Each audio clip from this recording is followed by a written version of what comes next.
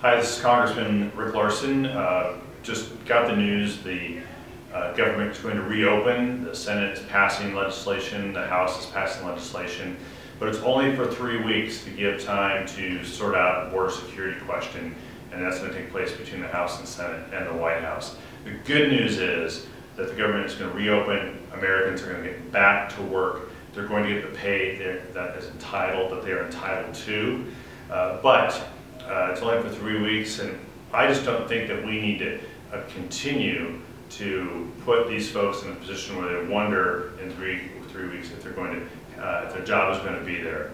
I'm standing with our federal workers, I'm standing with these great Americans, get them back to work, I want them to keep working, and I'll do everything I can to be sure that we get a full year's funding done for the country and for these great Americans who are working on our behalf. Thanks a lot.